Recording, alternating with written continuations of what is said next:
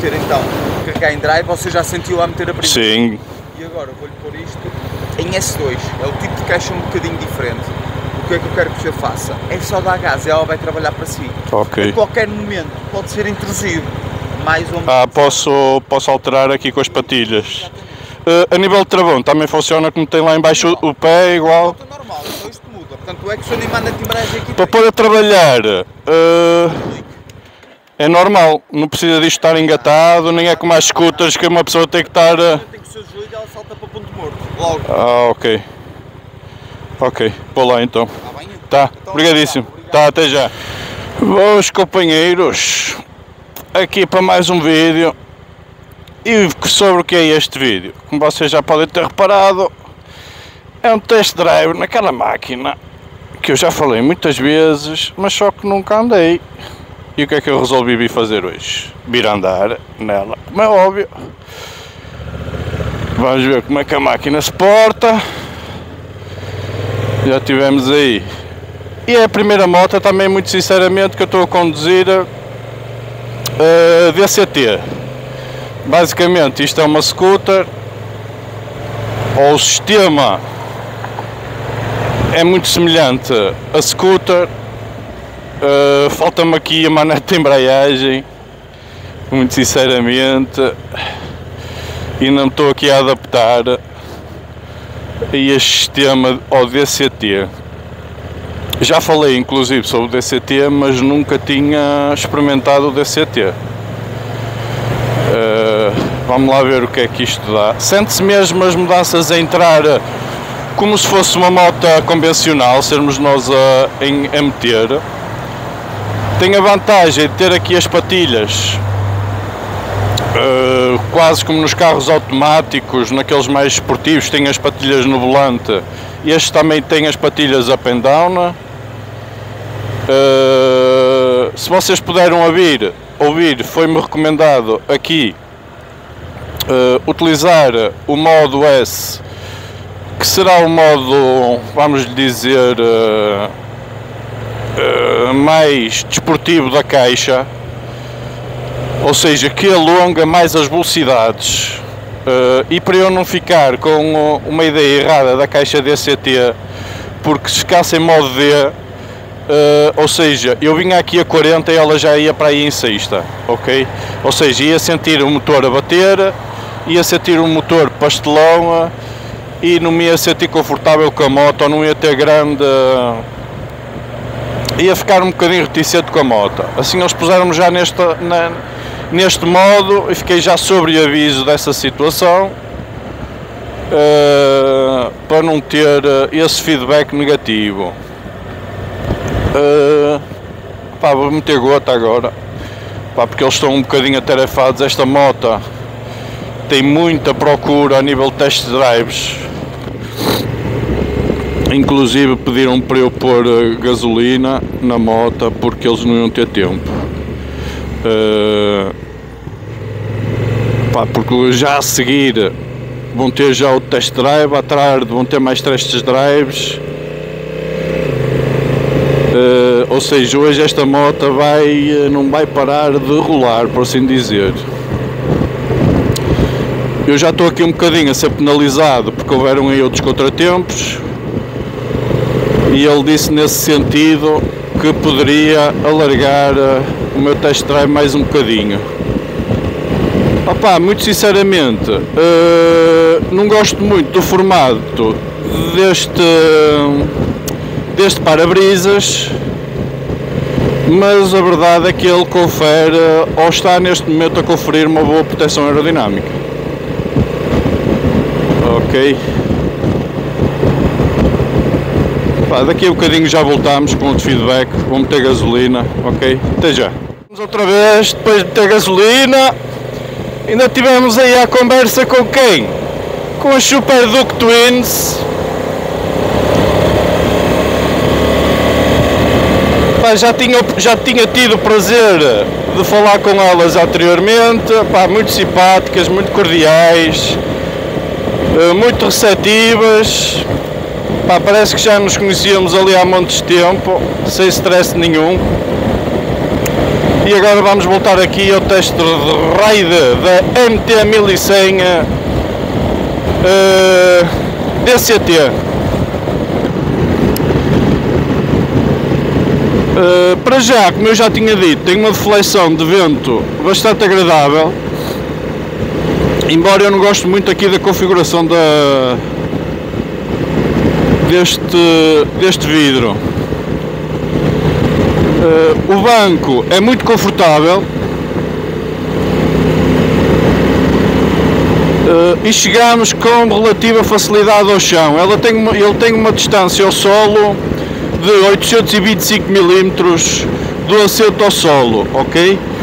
Mas como eu já disse noutros vídeos, vocês não se podem fiar muito nesta distância, porque depende muito da configuração dos próprios bancos. Este banco aqui já é um bocadinho mais largo, uh, rouba-vos aqui um bocado de comprimento às vossas pernas, mas uh, nada de especial, ou seja, eu sinto-me relativamente confortável com esta moto a nível de altura. A nível de peso, uh, tem 231 kg, ou seja, para este tipo de moto não é nada ou não será nada de especial, ou seja, é um peso bastante acessível, por assim dizer, uh, para quem está dentro do assunto. Uh, depois tem uma distância ao solo de 175 mm. Pá, não sei como é que a Honda faz isto, mas ainda tem uma distância maior ao solo que a minha, que a minha Suzuki minha Suzuki tem 160, pá, suspensões invertidas, du, duplo disco de travão, uh, opá, aquilo que a Honda já nos habituou uh, às suas motas. Uh, opá, bastante normal aqui em autoestrada, por assim dizer. Aqui uma velocidade cruzeiro 130, 140 as vibrações são mínimas. Eh, ela é que faz a gestão da caixa, vai ali em sexta. Eh, e eu acho que neste modo ela eh, vai faz uma boa gestão da caixa, a meu ver. A gente roda ao punho e vê que ela tem sempre disponibilidade mas claro está, não é um motor tão agressivo ou tão bruto como por exemplo eu testei a, a CF Moto 800 MT. É uma aceleração mais progressiva, não tão bruta, ok? Uh, esta é uma verdadeira Touring, jante 17 à frente, jante 17 atrás, jante de alumínio, transmissão por corrente, que a meu ver acho que as verdadeiras Touring, por assim dizer, deviam começar a optar por uma transmissão de cardan. Opá, e vocês perguntam-me, mas porquê? Opá, simplesmente pela não manutenção do, do, do sistema, ok? Isso parece que não, mas para nós liberta-nos ali de uma preocupação para quem vai pegar numa moto destas para fazer viagens longas, que tem que estar sempre ali em cima da, da corrente, lubrifica, não lubrifica, estica, não estica. Opa, é a minha opinião. Vale o que vale. Se vocês me perguntarem quantas motas é que no mercado têm sistema de, de cardan, opa, só me lembro das BMs e pouco mais mas acho que para estas motas ditas de Touring fazia todo sentido uh, eles apostarem num sistema desses. Voltando aqui à moto, uh, um depósito de 20.8 litros, pá, muito bom depósito. Isto aliado aos consumos que a Honda já nos habituou, por norma aos motores Honda, são motores muito poupadinhos eu acho que isto dá uma autonomia para aí de 450 km à vontade. Uh, este motor é um motor de 75 kW que será sensivelmente 100 cavalos. Para a Honda podia esticar ou podia ter esticado este motor 1100 um bocadinho mais a meu ver. Uh, e eu acredito que eles irão fazer isso. E vocês perguntam porquê. Opa, porque vai entrar aí no mercado um motor 750 com muito, muito próximo dos 100 cavalos ok? Uh, ou seja, que não faz sentido ter um motor com 750, que é o que eles vão desenvolver para a Hornet, 90, 90 ou 95 cavalos, e ter um 1100 com apenas 100. Ah pá, não, uh, não, é, não é justificação, ou seja, para manter, a meu ver, os dois motores uh, a concorrer basicamente um com o outro. Pá, mas é só uma opinião. Por isso, a meu ver, a tendência para estas motas, seja Africa Twin, seja estas NTs, seja tudo que equipa o motor 1100, a meu ver, vai levar um restyling a nível do motor para breve. Ou vai levar o 750, que eu não me acredito muito, ou irá levar um motor 1100 novo. Pá, mas é só a minha opinião.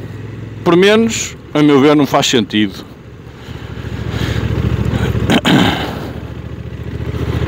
Pá, até agora estou-me a sentir bastante confortável na moto. Pá, vou ser sincero, não gostei muito da moto a curvar. Uh, pá, não sei porquê.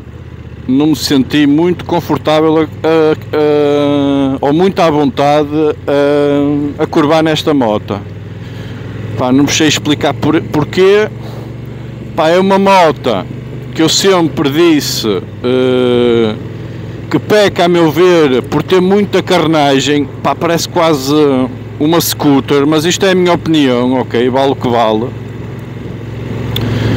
Uh, e a sua frente, a nível de estética, parece muito a XADV, ok? Podiam ter, a Honda podia ter eh, inovado aqui um bocadinho mais na moto a nível de design, em vez de ir buscar um produto ou um produto muito semelhante àquilo que eles já usam no mercado. Mas como eu digo, isto é só a minha opinião. Opa, esta caixa DCT, sim senhor, estou bastante bastante agradado por assim dizer.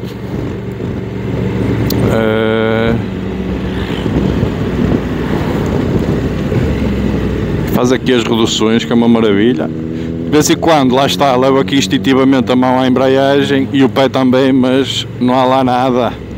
É um vazio. Pá, eu acho que, por exemplo, eu tenho pessoas na família que são motares e já começam a ter alguns problemas de saúde, pá, efetivamente a nível de pulsos e tudo mais que têm alguma dificuldade em fazer viagens mais longas ou muito para arranca porque têm que utilizar a caixa, inclusive andariam a ponderar opa, até baixar de cilindrada e arranjar uma scooter, opa, a caixa DCT acho que é uma solução uh, muito fiável para esses companheiros que querem um bocadinho de mais conforto ou não têm essa necessidade de fazer o trabalho de caixa, ok? Tão simples como isso. Ali um companheiro parado ali, não, nem para trás nem para a frente. BMW. Ok. Em vez de ir lá ao fundo, não, quis vir aqui. Opa, prontos, é o que é. Agora vamos testar ali a máquina. Aqui no paralelo e já voltamos. Até já, estamos nós no paralelo. Vamos ver o que é que ela dá. Pá, a suspensão é muito boa. Eh, eu acho que ela tem um curso sensivelmente 140 mm, 150. Mas para mim isso é um bocado secundário. Eu gosto de saber é como é que ela, como é que a gente a sente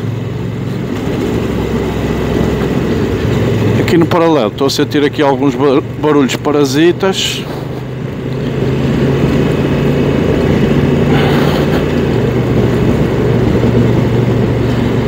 Não sei se será só impressão minha ou se é efetivamente da moto.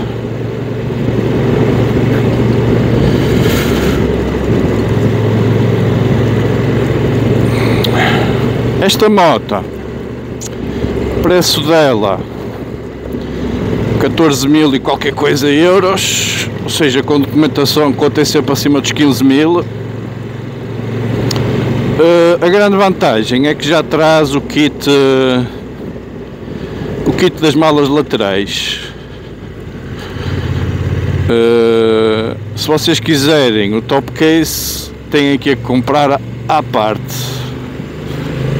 Salvo erro, é o, é um, esse kit que também acho salvo erro. Que ela de origem também já traz o descanso central. Mas se quiserem o, o pack mais, mais completo é o pack Touring. Uh, que darão por ele para mais 1500 ou 2000 euros.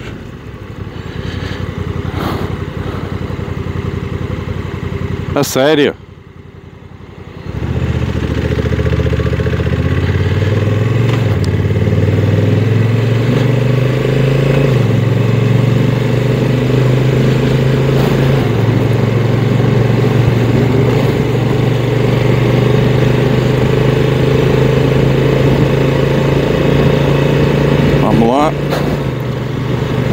depois tarde.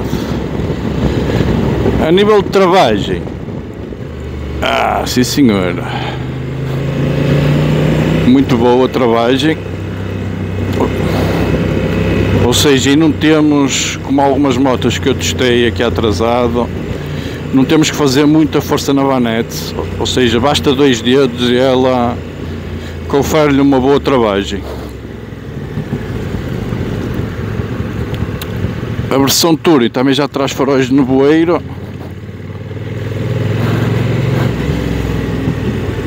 Uh, que é também uma mais-valia, não é?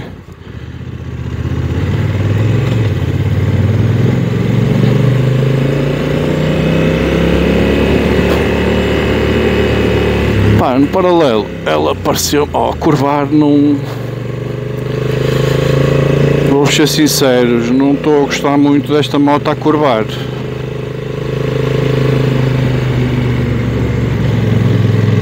Principalmente para o lado esquerdo, não sei porquê. Parece que ela não inclina com a mesma facilidade para a esquerda do que facilita para a direita. Uh, se vocês me perguntarem eh, uma possível causa, pá, possível aqui alguma alguma mal distribuição de peso, a meu ver, na moto. Mas a verdade é isso que eu sinto. Pá, a sonoridade do motor eu já conheço da Africa Twin, pá, também gosto bastante.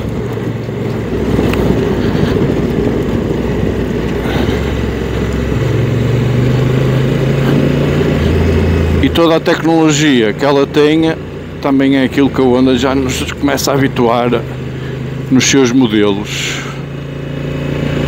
Isto é igualzinho ao da Africa Twin, dois displays, um digital, dois digitais, mas um TFT, outro convencional. Uh, pá, lá está, já, já nos habituou a fazer aqui os ditos emparelhamentos, aos modos de condução.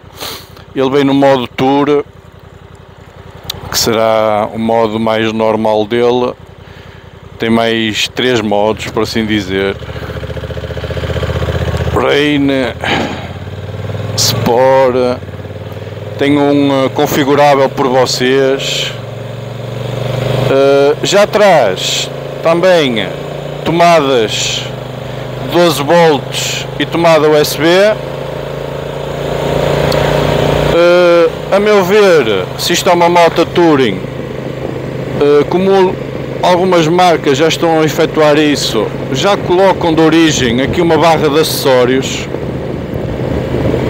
Uh, claro que pá, eles poderão dizer, opá, não tem necessidade porque isso dá para emparelhar com o telemóvel e uh, escusa de levar ali um acessório. Pá, mas há gente que não quer meter ali as cenas de telemóvel ou quer meter um GPS e daria sempre jeito ali uma, uma barra, uma barrinha de acessórios. Pá, se a gente quiser, tem que disponibilizar, tem que, pá, tem que abrir os cordões à bolsa, como é normal. Nestas marcas mais ditas premium, qualquer extra.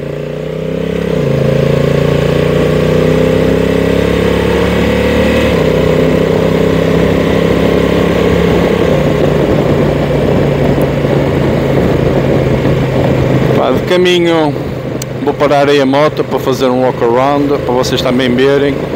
A motinha. E já voltamos. Eu trago aqui a versão mais equipada.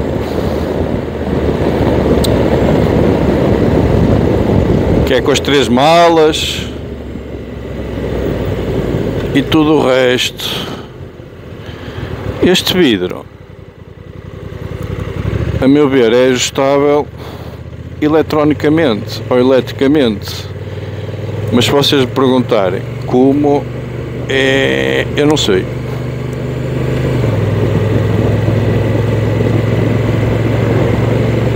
Sinceramente, não sei.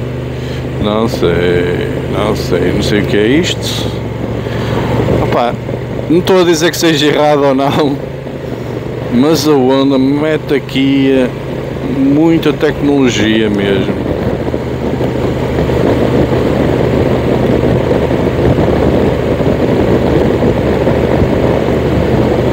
Que depois uma pessoa até se perde aqui no meio de tanto botão.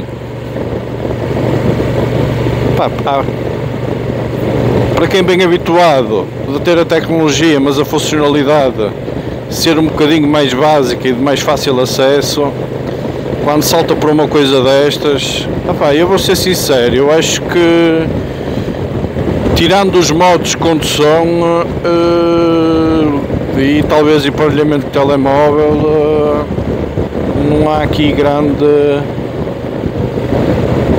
Eu acho que o pessoal depois de ter o setting definido nunca mais mexe nisto. Pá, tem aqui deste lado esquerdo, se vocês puderem ver, é muita, muita, muito botão. Assim, a minha cria-me um bocado de confusão. Opá, agora eu também já estou aqui na casa dos 40 já muita coisa me começa a conferir confusão pá, para aqueles novos condutores. Possivelmente que andam aí sempre em cima das tecnologias, acredito que não faça confusão.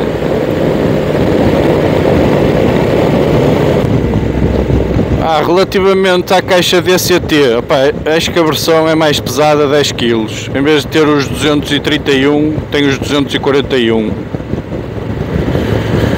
Ok, pá, uma nota.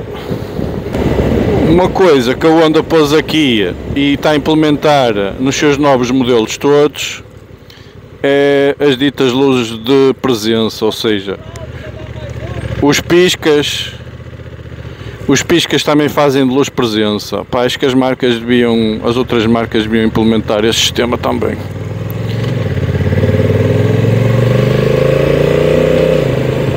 Acho que tudo que é mais positivo ou, ou que nos confere mais alguma visibilidade, nem é tanto para a gente ver, mas é mais para sermos vistos. Acho que é uma mais-valia.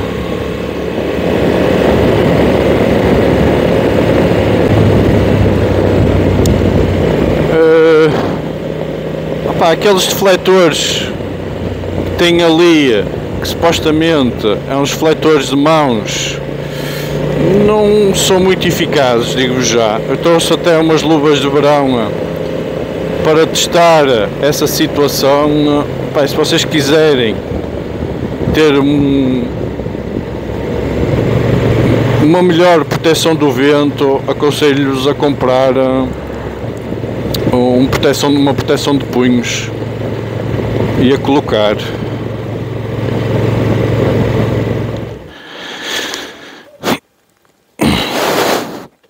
Travão de parque, que não estou habituado a estas mordeneces das DCTs.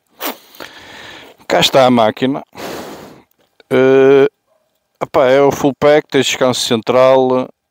Uh, tem ali, parece ali uma sensação de uma proteção em plástico, uma carnagem, proteção ao motor, uh, faróis de nevoeiro, para a frente, a estética, vale que vale. A meu ver, não é das motas mais bonitas da Honda, pá, é a minha opinião. Uh, foram buscar aqui a frente da XADV, pá, não há que enganar. Uh, as tais situações aqui dos faróis de presença que eu gosto, acho que as marcas deviam implementar este tipo de situações. As malas, pá, tem um escape muito bonito, ok?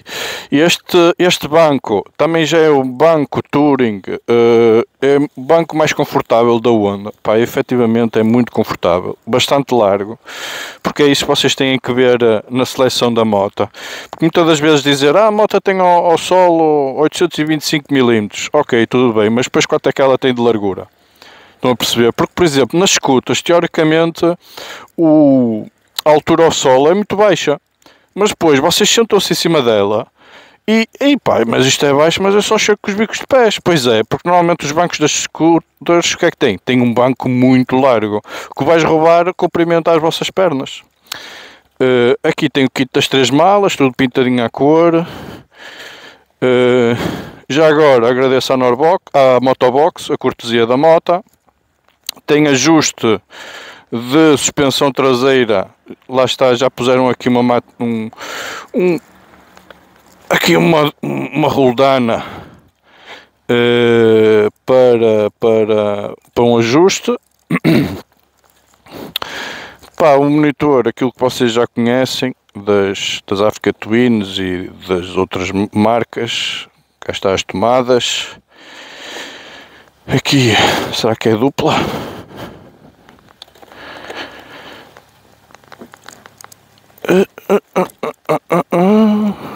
Não, é só uma entrada USB, USB dupla e é aqui um 31 para tirar isto, digo já. Não é fácil entrar lá dentro. Modo de condução, ela ali está a avisar que está com descanso lateral. Pá, isto aqui nem vos vou estar a falar porque é, a meu ver é mais do mesmo. Não estou a gostar muito da moto, vou ser sincero, a curvar. Não é aquilo que eu esperava. Estou a sentir a moto desequilibrada, por assim dizer. Mas vou fazer agora a 108 com umas curvinhas e já vos dou o feedback, ok? Até já. Eu também não estou a gostar. É Lá está, porque ela não consegue perceber. É ela meter eh, mudanças em curva a velocidades mais reduzidas. Ou seja, a gente vai em curva e ela dá ali um claque. Não estou a dizer que é um abanão forte, mas é um abanãozinho. Pá, que a meu ver eh, seria de evitar uh, ela fazer esse tipo de movimentos mais bruscos quando a gente está a curvar. Uh, uh, a velocidades mais lentas. Ok? É a minha opinião. Se vocês quiserem dar umas gazadas nesta moto, vocês não conseguem. Ou metem-na no neutro, ou então aquelas gazadas tipo de rater, esqueçam lá isso. É, lá aqui para o lado esquerdo não, não se deita tão, tão facilmente como para o lado direito. Nota-se que está aqui a moto está aqui um bocado desequilibrada, por assim dizer. Cá está, já começa aqui a sentir o calorzinho debaixo dos bancos. Não é debaixo dos bancos, é aqui até mais na perna esquerda. Também vamos aqui, tivemos a infelicidade de apanhar aqui comboio de carros o que não dá para para testar muito bem a agilidade desta moto. Vamos tentar arranjar aí uma nesga.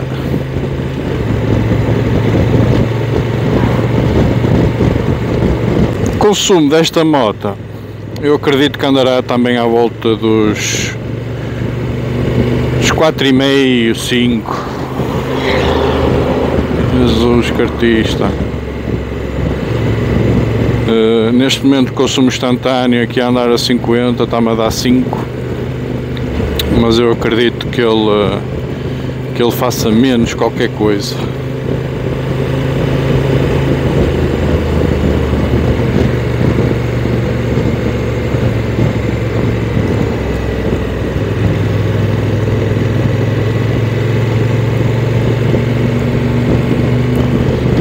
nível de visibilidade dos espelhos uh, do lado direito é boa do lado esquerdo nem tanto. Uh, e vou dizer uma coisa. Eu acho que estes espelhos são da PCX estes espelhos retrovisores que são mesmo da PCX uh, Opa, é o que é. Opa. Se eu estiver enganado, pá, que digam aí nos comentários. Mas eu acho que é da PCX mesmo. São mesmo iguaizinhos aos da PCX.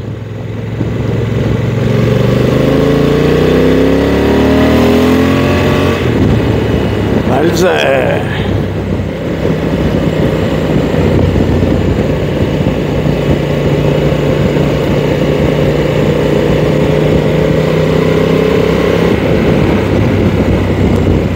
Vamos lá testar essas curvas.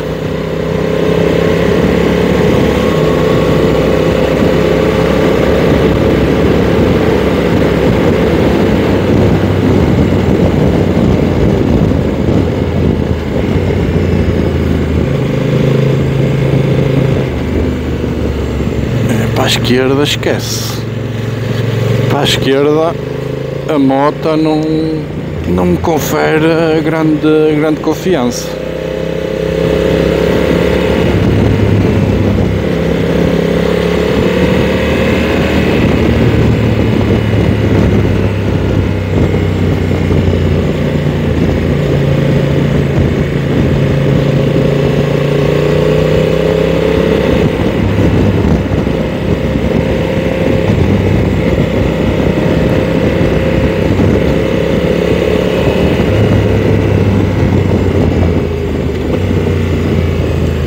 aqui para a esquerda ela até parece que luta.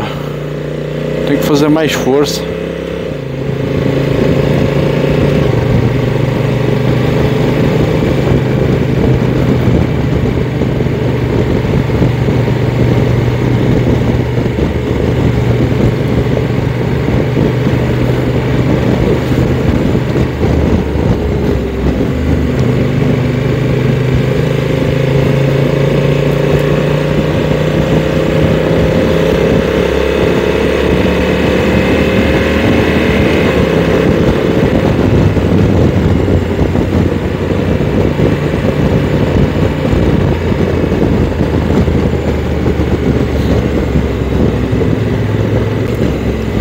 Pá, resumindo, aqui conclusões finais, pá, porque este teste é de uma horita e já me estou aqui a esticar mais um bocadinho porque eles disseram para eu, para eu poder esticar. Uh, no entanto, esta moto hoje vai ser muito requisitada. Pá, num, o meu feedback é por esta horita. Uh, Pá, depois quem tiver esta máquina passe me ajudar também a dar aí o vosso feedback. Eu agradeço porque é aquilo que eu digo, a minha verdade não é, não tem que ser a verdade para toda a gente, é aquilo que eu estou a sentir da moto uh, autoestrada, pá, a moto comportou-se bastante bem. Uh, não gosto muito deste design deste, deste vidro mas ela confere uh, alguma proteção vai aqui a gingar um bocadinho, lá está, porque a nível de suporte só tem ali uns ferrinhos em baixo e esta parte aqui vai aqui a gingar bastante.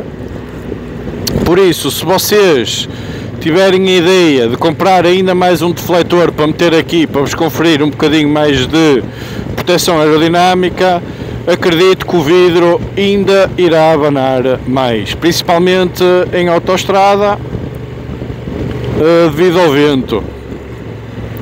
Pá, é o que é. Uh, ele dá-me a impressão que tem ajuste eletrónico, mas eu, muito sinceramente, não vou estar a mexer porque isto é para aqui muito botão. Uh, deem também o feedback. Se é ajuste manual, que eu não me acredito, pá, não sei. Eu penso que ele vai na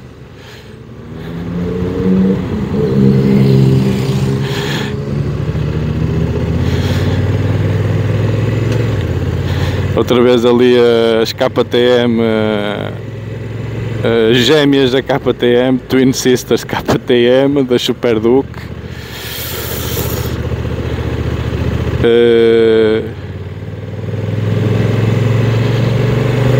E já me perdi aqui um bocadinho no raciocínio, não faz mal.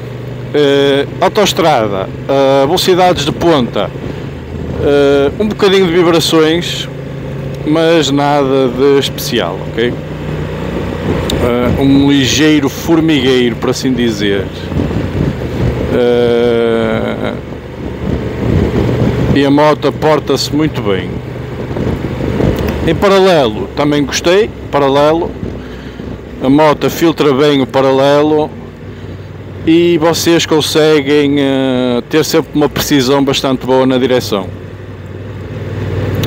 Uh, o banco confortável, Ui, então. Jesus, olha, a travagem está tá aprovada, mais que aprovada. A sério. Uh, o banco, este banco por menos é confortável, não sei como é que será o banco base, deve ser, uh, não deve ser tão confortável como este.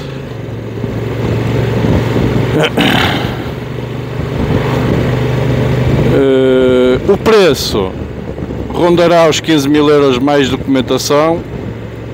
Com este pack Touring, pá, é capaz de ir lá para os 16, 17 mil euros. Uh, pá, que a meu ver justificará.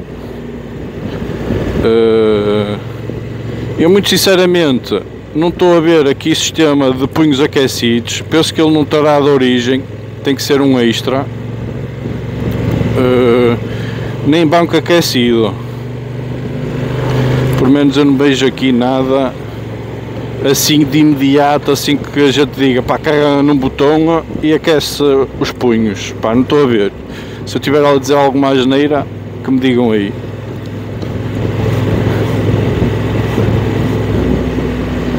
Uh, coisas que eu não gostei tanto, Opa, é lá curvar, não, não me convenceu, vou ser sinceros.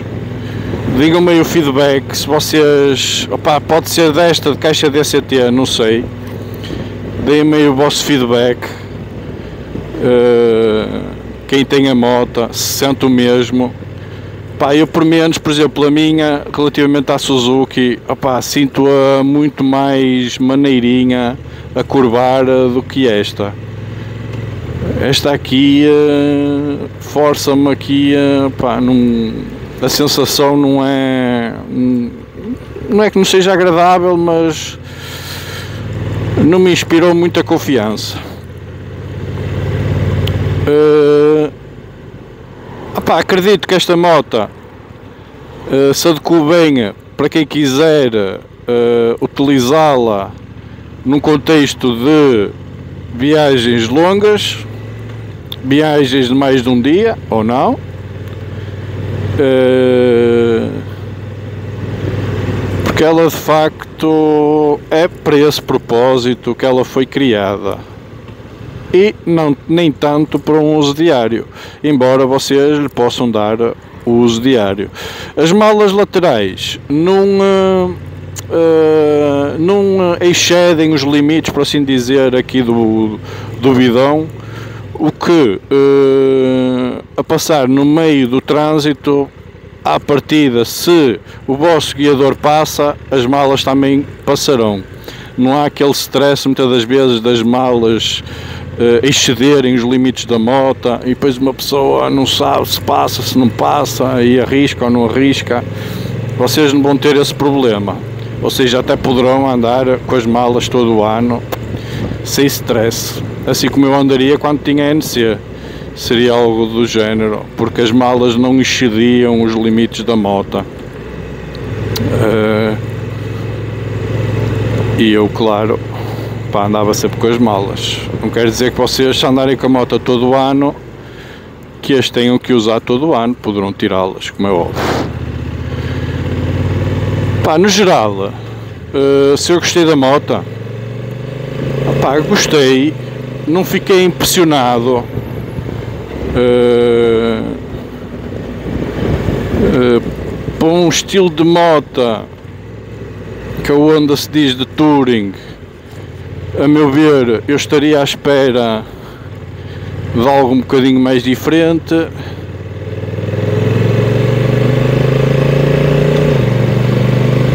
Uh, mais inovador, por assim dizer.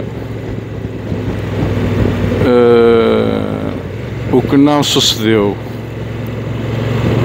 Pá, claro que esta moto tem muita procura.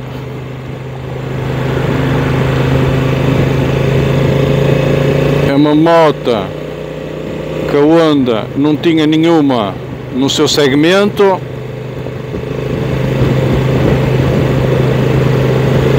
e que a meu ver já, já era imperativo a Honda criar aqui algo colmatar essa falha no segmento. Pá, no imediato lançou aqui NT conceito dela é New Turing Concept uh,